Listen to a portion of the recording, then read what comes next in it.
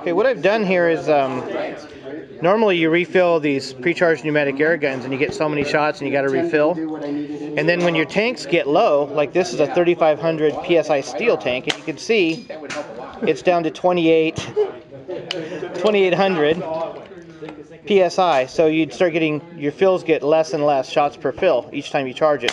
So what I've done here is once the tank got below the maximum fill pressure of the gun, I'm just leaving it attached and leaving the valve open.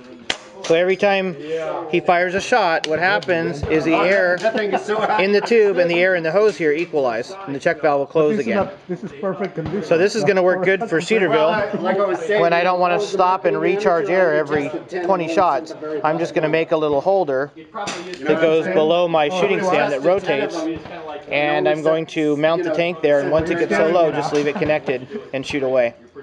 So another tip. That's why. And right now this is the why 25 my, uh, caliber Marauder, Shotgun when I go hunting. and he's shooting steel Because I- I can't silhouettes at 75 yards. Go ahead and take a shot.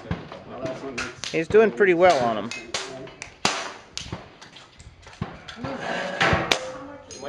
I heard a hit. Can you do it? Can you do it twice in a row? That's the third one. That's the third one in a row. Let me see how this. Yeah, you're right. It's 1.5 done. Done. I'll take a look at your. Here's another hole. Got it. Even in the wind, the wind gusted right there.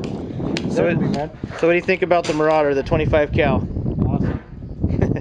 First time. I have a discovery, but this is different. See that? That's the thing. that I still-